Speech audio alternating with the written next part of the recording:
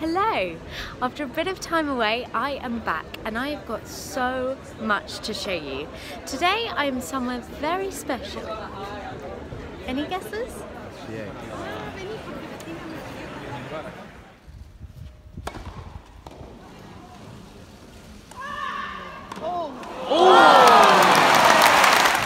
Wimbledon, the home of the most famous tennis championships.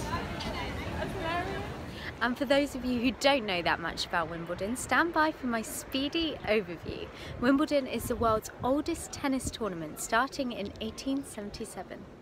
People flock from all over the world to see the top tennis stars such as Andy Murray and Serena Williams do their thing.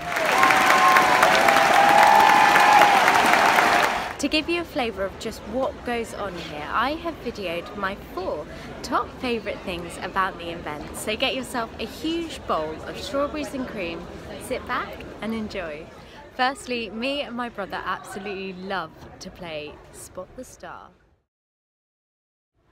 And if you're lucky, you might even get a peek at one of the royals up on the balcony.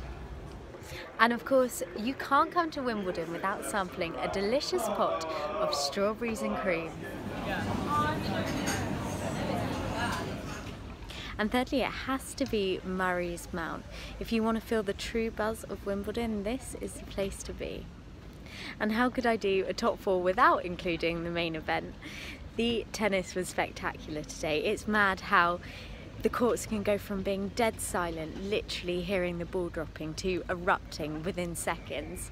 Doesn't get more exciting than that.